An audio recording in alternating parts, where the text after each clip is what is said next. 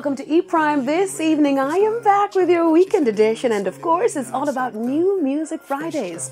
First up, Aidonia is back with another summer banger. The lyrical DJ on Thursday released his latest single, Fresh Drop. Now, in the video, he revealed the first known pair of the viral Big Red Boots in Jamaica, much to the delight of his fans, including me. He spoke to E Prime on the video and his plans for 2023. First drop the whole. I get new phone, drop. I get new shoes, first drop. I get a new girl, no matter what you do, I get that first drop. So, because the one capture that with the red boot and it did exactly that, isn't it? We have a couple of things to drop. Me have a song named Love You, is it me have a song named Pan Repeat, is it me have a song named Boy, and a portion more. Fresh drop.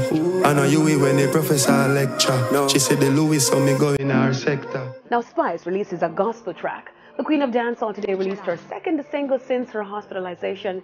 The song is titled Spice Marley. The Queen took to her official Instagram where she shared the cover art with the fans, adding, quote, Best is, I know this is not my usual, but please take this journey with me while I give God all the praise. This is my gospel song in a reggae form.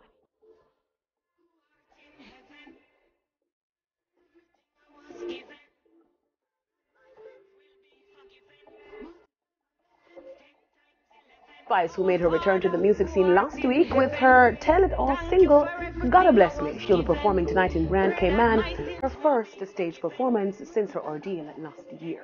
Grammy nominated reggae star Jah Cure debuts new music for Undeniable, a sequel to Everything. The title track Undeniable from the artist's newest album released in February sees Kaylin Arnold on vocals, picking up from the storyline from the previous video for Everything featuring Ghanaian reggae star Stonebwoy.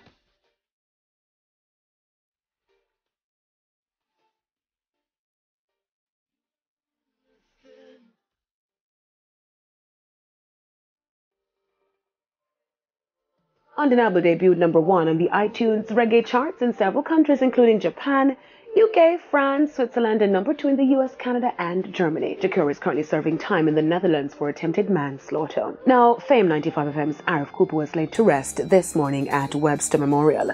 Members from the RJR Gleaner Communications Group shared their experience with Arif. When I met Arif Cooper, Arif had just come in with Kurt. Let me tell you something, having met him, you couldn't meet a more humble and talented brother. Every point in time throughout my DJing career, I could remember Arif always give me some form of mentorship, whether voluntarily or involuntarily. You get me? What I admired most about Arif would be was his, his, his passion for music. Um, all aspects of it, the performance aspect, the production aspect. Uh, big up to the family. I just want to say RIP again to one of our greatest soldiers in music. Rest in peace, Arif Cooper. You don't know, not sure. Big brother, producer, family. Thank you all for your support through this time, even if you were not there physically. I know you love Arif, and may his memory continue. EPRAM would like to thank you for your kind words and support during this difficult time, and we ask that you continue to keep his family and friends in your prayers. That's it for the weekend edition of E Prime. I am Datrin. Keep safe.